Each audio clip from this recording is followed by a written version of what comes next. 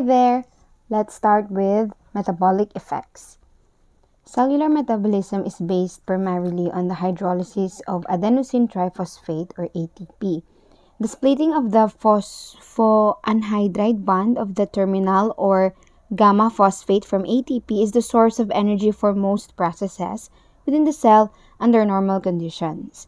The majority of ATP is generated in our bodies through aerobic metabolism in the process of oxidative phosphorylation in the mitochondria. This process is dependent on the availability of oxygen as a final electron acceptor in the electron transport chain. As oxygen tension within a cell decreases, there is a decrease in oxidative phosphorylation, and the generation of ATP slows. When oxygen delivery is so severely impaired, such that oxidative phosphorylation cannot be sustained, the state is termed dysoxia. When oxidative phosphorylation is insufficient, the cells shift to an anaerobic metabolism and glycolysis to generate ATP. This occurs via the breakdown of cellular glycogen stores to pyruvate. Although glycolysis is a rapid process, it is not efficient, allowing for the production of only 2 mole of ATP from 1 mole of glucose. This is compared to complete oxidation of 1 mole of glucose that produces 38 mole of ATP. Additionally, under hypoxic conditions in anaerobic metabolism, pyruvate is converted into lactate, leading to an intracellular metab metabolic acidosis. There are numerous consequences secondary to these metabolic changes. The depletion of ATP potentially influences all ATP dependent cellular processes. These includes maintenance of cellular membrane potential, synthesis of enzymes and proteins, cell signaling, and DNA repair mechanisms. Decreased intracellular pH also influences vital cellular functions such as normal enzyme activity, cell membrane ion exchange, and cellular metabolic signaling. These changes will also lead to changes in gene expression within the cell. Furthermore, acidosis leads to changes in the calcium metabolism and calcium signaling. Compounded, these changes may lead to irreversible cell injury and death. Epinephrine and norepinephrine have a profound impact on cellular metabolism.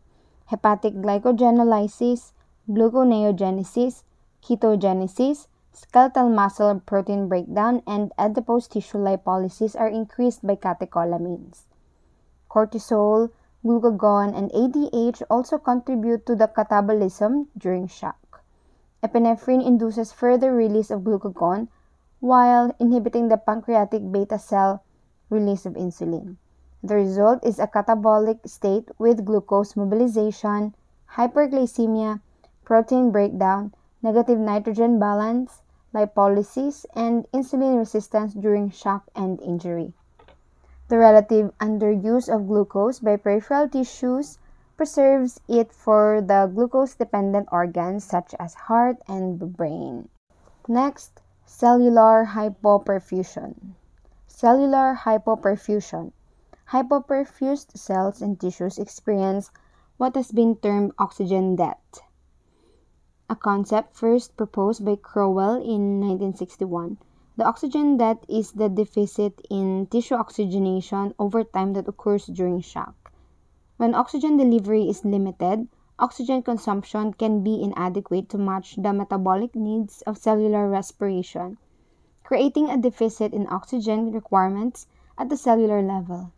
The measurements of oxygen deficits uses calculation of the difference between the estimated oxygen demand and the actual value obtained for oxygen consumption. Under normal circumstances, cells can repay the oxygen debt during reperfusion. The magnitude of oxygen debt correlates with the severity and the duration of hypoperfusion. Surrogate values for measuring oxygen debt include base deficit and lactate, lactate levels and are discussed later in the hypovolemic or hemorrhagic section. In addition to the induction of changes in cellular metabolic pathways, Shock also induces changes in cellular gene expression. the DNA binding activity of a number of nuclear transcription factors is altered by hypoxia and the production, production of oxygen radicals or nitrogen radicals that are produced at the cellular level by shock. Expression of other gene products such as heat shock proteins, vascular endothelial growth factor, inducible nitrogen oxide synthase or INOS, heme oxygenase 1 and cytokines also are clearly increased by shock. Many of these shock induced gene products, such as cytokines, have the ability to subsequently alter gene expression in specific target cells and tissues. The involvement of multiple pathways emphasizes the complex, integrated, and overlapping nature of the response to shock. Next, immune and inflammatory responses. The inflammatory and immune responses are a complex, complex set of interaction between circulating soluble factors and cells that can arise in response to trauma, infection, ischemia, toxic, and autoimmune stimuli. The processes are well regulated and can be conceptualized as an ongoing surveillance and response system that undergoes a coordinated escalation following injury to heal disrupted tissue or restore host microbe equilibrium, as well as active suppression back to the baseline levels. Failure to adequately control the activation, escalation, or suppression of the inflammatory response can lead to systemic inflammatory response syndrome, or the SIRS, and, the poten- and potentiate multiple organ failure. Both the innate and adaptive branches of the immune system work in concert to rapidly respond in a specific and effective manner to challenges that threaten organisms' well being. Each arm of the immune system has its own set of functions, defined primarily by distinct classes of effector cells and their unique cell membrane receptor families. Alterations in the activity of the innate host immune system can be responsible for both the development of shock for example, septic shock following severe infection and traumatic shock following tissue injury with hemorrhage, and the pathophysiologic sequelae of shock such as pro-inflammatory changes seen following hypoperfusion. When the predominantly paracrine mediators gain access to the systemic circulation, they can induce variety of metabolic changes that are collectively referred to as host inflammatory response. Understanding of the intricate, redundant, and interrelated pathways that comprise the inflammatory response to shock continues to expand.